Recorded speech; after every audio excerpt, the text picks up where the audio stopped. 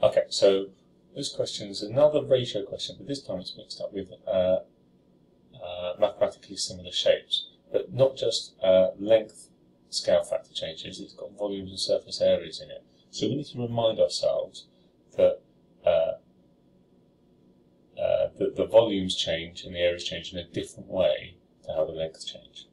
So if we just have uh, think about the ratios of the length of to the length of B, well, we don't know anything. We don't know that information just yet, so we're going to leave that blank. If we consider how the area changes in ratio to the, how the area changes of B, there's a relationship there, but we don't know anything about that either yet. What we do know is the volume of A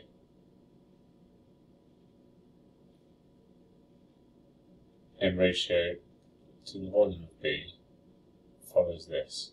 It is 120 to 960. That's the ratio of the volumes. So if I simplify that ratio, I get the ratio of 1 to 8. Now, we can use that information to go back and do some things with the length.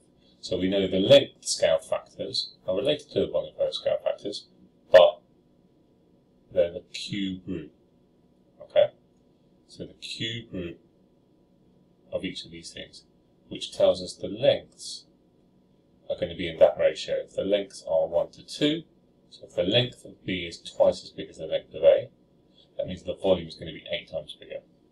Now using that, we know that the square, not the cube will give us the volume, the square of the length scale factors, lengths change, is going to give us how the areas change in similar shapes. So it's 1 to 4. So we were told the information that the ratio of the volumes was in the ratio 1 to 8. That tells us the length would be in the ratio of 1 to 2, and the areas would be in the ratio of 1 to 4.